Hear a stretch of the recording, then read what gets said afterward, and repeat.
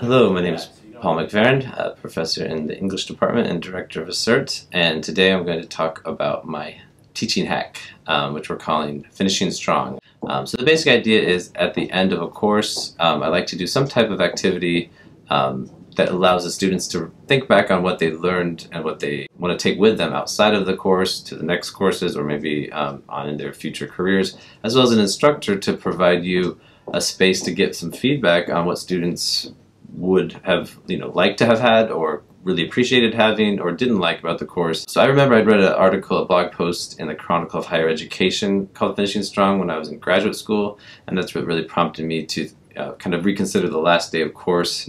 So what I try to do is um, ask the questions um, of the students to, to, to, kind of prime their thoughts about the course. Um, I, I ask them on, you know, in person or uh, uh alone. It's kind of a quick write to just write down a couple of things such as, you know, what will you remember about this course, what readings, what topics, or, you know, the converse of that, you know, I asked them to write a couple things about like, what are you going to forget about this course? So they, they get together after they write in small pairs and we talk about like, you know, that kind of positive and maybe things they'll forget. So they've kind of gone through the syllabus and thought about what are the things that they that they liked or didn't like about the semester.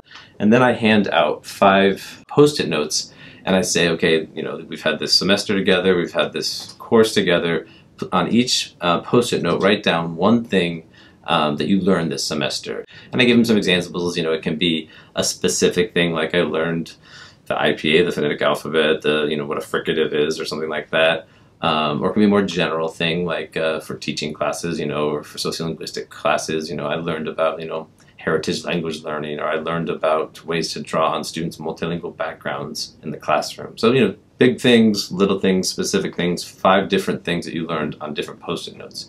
And then I put the students together in groups of four or five so that they have quite a number of these post-it notes to put together and they'll put them on a on a whiteboard or on a sheet of uh, poster paper and arrange them in some sort of visual um, representation of the of the of the different topics. So that you know it can be something simple like Venn diagrams or circles or some sort of you know kind of this leads to this um, mapping of it.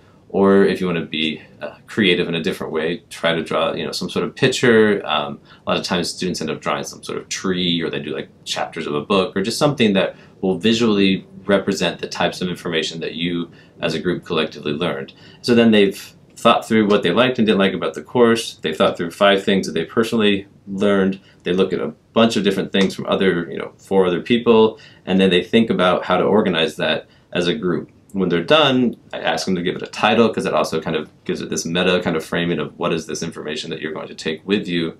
And then they look at each other's and they walk around the room and kind of do like a poster um, you know, presentation at a conference. And the final thing would be then having the groups present their posters and their and their organization of the of the post-it notes to each other. So there's multiple things and most, multiple times that they can they can uh, reflect on what they've learned, how they're going to kind of visually organize it on a piece of paper or a whiteboard, but then that might also get reflected then back into their long-term memories, and then of course presenting it will will just further kind of put it in their in their in their minds. So that's just what I like to do at the end of a um, course. It helps me as an instructor think about what the students got out of it. Um, it helps the students think about what they got out of it, and I think so in a, in a way it helps us both uh, finish the semester strong.